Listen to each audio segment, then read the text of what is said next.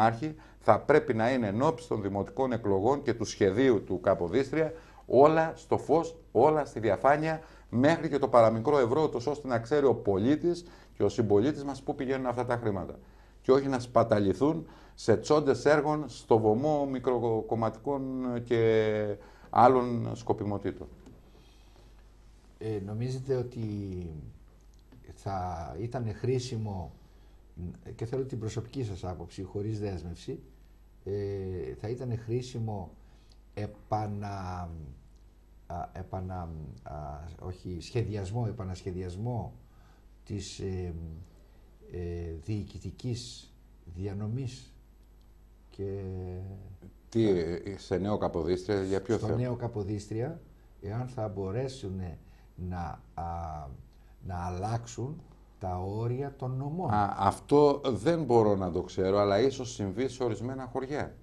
Α, σε, ε, μιλάτε για... Όχι, σε όχι. επίπεδο αυτή, νομού. Αυτή τη στιγμή ε, δεν υπάρχει τέτοιος σχεδιασμός. Υπάρχουν ιδέες. Υπάρχουν, γι' αυτό Έτσι, το και λέω. για τις περιφέρειες. Μα γι' αυτό Αλλά το λέω. Πιστεύω, Και μάλιστα λέγεται ότι η περιφέρεια του Καποδίστρια 2 θα είναι και για τους 7 νόμους. ε, πιστεύω ότι και να είναι, και μάλιστα και, για, πάρα και πολύ- ορισμένα νησιά του, Εντάξει, είναι του πα- Ιουνίου. Είναι πάρα πολύ δύσκολο να υπάρξει τέτοια, ε, ε, τέτοια διαδικασία τώρα, γιατί σας λέω, και το γνωρίζετε και το γνωρίζουν οι πάντες, ότι είναι δύσκολη η μορφολογία και η γεωγραφία της χώρας που δεν επιτρέπει να κάνεις τέτοιες τομές σε αυτή τη φάση. Μάλιστα. Έτσι είναι η γνώμη μου. Τώρα μπορεί να έρθουν άλλα σχέδια νόμου. Το, το ζήτημα είναι όμως ότι αυτή η κυβέρνηση δίνει μια καινούρια ελπίδα, ειδικά στον αυτοδιοικητικό χώρο, τονώνοντας και διατρανώνοντας ότι εγώ θέλω να πάω σε πολιτικές λύσεις κοντά στον πολίτη, έτσι ώστε να μην χρειάζεται ούτε το Διοικητικό Κέντρο των Αθηνών, ούτε καν το Διοικητικό Κέντρο της Σπάρτης για την επίλυση κεντρικών προβλημάτων. Όπως αυτό θα συμβάλλει και η μεταφορά πολλών αρμοδιοτήτων στα ΚΕΠ, τα οποία ήταν μια μεγάλη πολιτική πρωτοβουλία της τότε κυβέρνησης του Πασό και του Υπουργείου Εσωτερικών, που νομίζω ότι λύνει αρκετά προβλήματα. Αυτό είναι γεγονός. Έτσι, αυτό το, το μοντέλο ΚΕΠ μπορεί να εφαρμοστεί, να εφαρμοστεί Να άριστα, ολοκληρωθεί περισσότερο. να εφαρμοστεί, να εφαρμοστεί, κα- ακούστε, να εφαρμοστεί και στις φο- ε, εφορίες και στις πολεοδομίες και όπου υπάρχουν αιστείες διαφθοράς σύμφωνα με το συνήγορο του πολίτη. Δεν είναι τυχαίο ότι ο Παπανδρέος στο πρώτο Υπουργικό Συμβούλιο ήθελε να δώσει μήνυμα στους δημοσίους υπαλλήλους, τον εαυτό του, εννοώντας την κυβέρνησή του, ότι εγώ δεν θα παίξω. Και πιστεύω, και αυτό είναι ευχή όλων των Ελλήνων, έτσι, να το δει και στην πράξη. Γιατί το κάθε εγχείρημα και η κάθε διαδικασία ε, κρίνεται εκ του αποτελέσματος και απ- από την πράξη. Είναι δεδομένο. Σήμερα όμως βλέπουμε σε κάθε γωνιά της, γης, ε, της ε, χώρας μας, σε κάθε καφενείο γεννιέται μια καινούργια ελπίδα.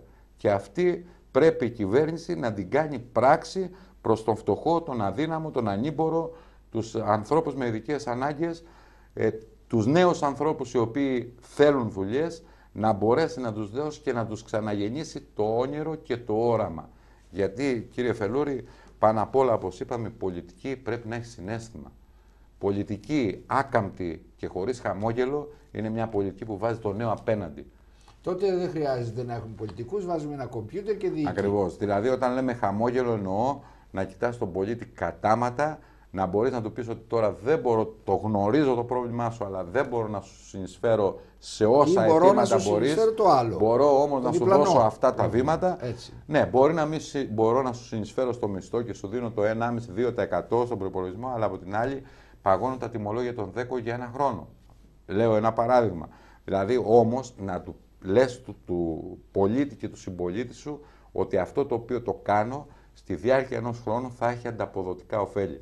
Πληρώνεις αυτό το φόρο και πηγαίνει εκεί. Πληρώνεις αυτό τον φόρο και πηγαίνει εκεί. Να το βλέπει. Και όταν οι πολίτες αρχίζουν να βλέπουν έστω τα ελάχιστα όπως λένε και στα καφενεία, νομίζω ότι θα ακολουθήσουν αυτή την κυβέρνηση, θα την εμπιστευτούν, γιατί όπως είπε και ο Παπανδρέου, εμείς θέλουμε αυτούς που διαφωνούν και είναι στην περιφέρεια της αγωνίας και της ανοχής την οποία μας έδωσαν.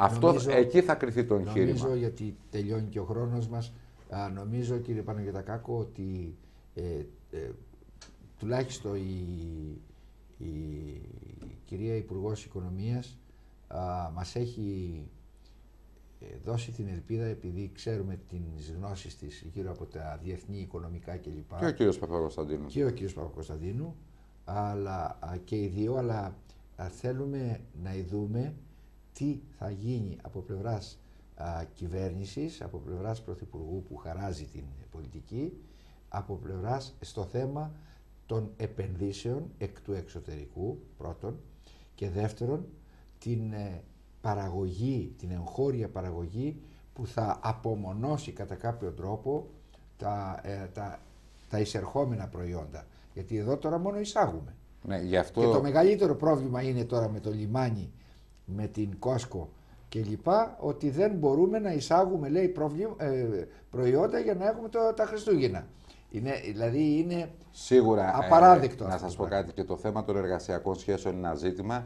Νομίζω ότι η κυρία Υπουργός το διαπραγματεύτηκε με ένα, μέχρι ένα σημείο, αλλά υπάρχουν διεθνείς συμβάσει. Ναι, αλλά ξέρετε, ξέρετε όμως κύριε Παναγιώτακάκο, ποιο είναι ένα, ένα, μια α, ε, παρονυχίδα, όχι παρονυχίδα, είναι μεγάλο το πρόβλημα της, ε, ε, α, της ε, μη εμπιστοσύνης εκ μέρους των ξένων επενδυτών γιατί όταν βλέπουν ότι μια συμφωνία που πέρασε και από νόμο, νόμο, ε, νόμο, ε, νόμο παρασκευαστικό και από την Ολομέλεια της Βουλής και νεκρήθησαν το ένα το άλλο, την Κόσκο μιλάμε.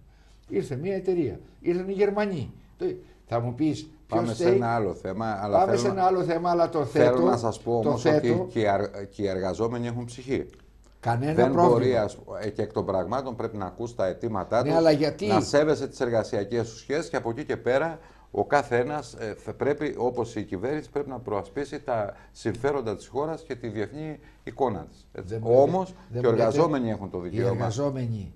Ε, όχι όλοι. Ανοίγουμε άλλο κεφάλαιο το ναι, οποίο. Όχι όλοι οι εργαζόμενοι και δεν το συζητάμε τώρα. Απλώς το θίγω εγώ γιατί οι εργαζόμενοι στον ΟΛΠ Φερρυπή δεν είναι όλοι που δια, διακανώνουν την αντίθεσή τους. Είναι αυτοί οι ορισμένοι πρέπει... οι οποίοι ξεπερνάνε και, το, και το μισθό του Πρωθυπουργού. Μία, μία, μία κυβέρνηση οφείλει να βλέπει τα αιτήματα και μέχρι το σημείο το οποίο μπορεί να ικανοποιεί και να υλοποιεί προς όφελο, αυτό πρέπει να πράττει. Όμως είναι μια δύσκολη υπόθεση στο λιμάνι και ε, πιστεύω ότι οι πολιτικές τι οποίες ακολούθησε το Υπουργείο ε, έχουν στόχευση και ε, πιστεύω ότι θα... Γιατί πρέπει να πιστούν οι ξένοι επενδυτές ότι θα έρθουν και θα έχουν συνεννόηση με την ελληνική κυβέρνηση πρώτον, ναι. αλλά και δεύτερον θα έχουμε μία α, διαρκή σταθερότητα στα νομοσχέδια, τα φορολογικά και τα φορολογικά σίγουρα, και σίγουρα. τα τέτοια Αλλά για μια δεκαετία, για μια δεκαπενταετία. Ε, κύριε Φελούρη, πρέπει όμως να έχεις και ζωντανούς εργαζόμενους με αξιοπρέπεια, μισθούς,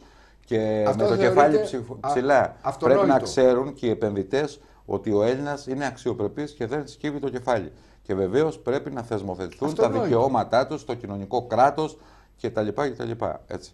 Να μην λέμε ότι θα κάνουμε επενδύσεις και ο άλλος θα είναι σε ένα ανελαστικό και σε ένα μισθό τρόμο. Επειδή τελειώνει ο χρόνος μας, θέλω την, ε, τη δική σας, το δικό σας μήνυμα προς τους τηλεθεατές μας. Κοιτάξτε να δείτε, αυτό το οποίο μπορούμε να πούμε, όπως είπαμε, ότι η, ε, ότι η πολιτική και η πολιτική αλλαγή οπωσδήποτε γεννά προσδοκίες. Το εγχείρημα θα κρυθεί στην πράξη. Θέλουμε να πιστεύουμε, και εγώ ως πολίτης μιλάω, ότι η κυβέρνηση του Γιώργου Παπανδρέου ξεκίνησε με ένα θετικό ούριο άνομο. Μέσα σε δύσκολες, παγκοσμιοποιημένες και ευρωπαϊκές συνθήκες. Όμως, και αυτό είναι γεγονός και νομίζω το αντιλαμβάνονται η διεθνή παρουσία της χώρας με τα δύο-τρία ταξίδια του Πρωθυπουργού, ειδικά στη Σύνοδο Κορφής, τρεις προτάσεις που έβαλε έγιναν πλήρως αποδεκτές από τους Ευρωπαίους ηγέτες. Η Ελλάδα πλέον δεν κρύβεται, είναι στο προσκήνιο των πολιτικών εξελίξεων. Ο Πανδρέο έχει αποδείξει ότι μπορεί να παίζει στο διπλωματικό χάρτη του κόσμου, ξέρει από τις πολιτικές ισορροπίες και αυτό θα βοηθήσει και στα ελληνοτουρκικά και στο Σκοπιανό, γιατί ένας τέτοιος πρωθυπουργός δείχνει την εξωστρέφεια της χώρας. Στο εσωτερικό πεδίο είπαμε ότι το τρίπτυχο κράτος, δίκηση, αυτοδίκηση, οικονομική αναδιανομή μέσα από το φορολογικό, σύνθημα και, ε, από το ε, φορολογικό σύστημα και από τις επενδύσεις του ΕΣΠΑ θα δώσουν το οξυγόνο στην οικονομία ούτως ώστε και θέσεις εργασίας να δημιουργηθούν και αξιοπρέπεια στην παιδεία, στην υγεία και στις συντάξεις να αποδώσουν. Στο θέμα του Καποδίστρια, σωστά η κυβέρνηση